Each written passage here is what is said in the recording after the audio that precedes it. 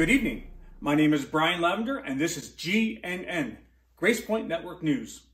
The big news uh, is that Gracepoint Fellowship is going online. But before that, just wait, we have some breaking news.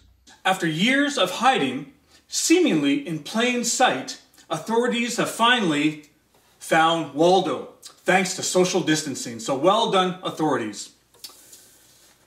I know that it's been a difficult time for many of us with the coronavirus. I've had so many emails and phone calls, and most people have had just one main concern besides toilet paper, and it's this. Will the coronavirus mutate and change into a zombie inducing virus? And the answer is yes. There's nothing we can do to stop it. Absolutely nothing. It's only a matter of time. My sources say yes, it is inevitable. Okay, well, on to the real news. Hi, everyone. Uh, it has been indeed a surreal week, and that word has often been overused, but I think it definitely applies here. And so, Gracepoint Fellowship is going online for the first time tomorrow at 10 a.m. We'll be on Facebook Live. Just join the Gracepoint Fellowship group on Facebook.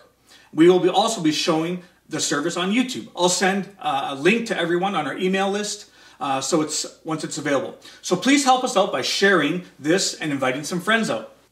So join us tomorrow at 10 a.m., Sunday, March 22nd. May God bless you and keep you, and everyone, please stay safe out there.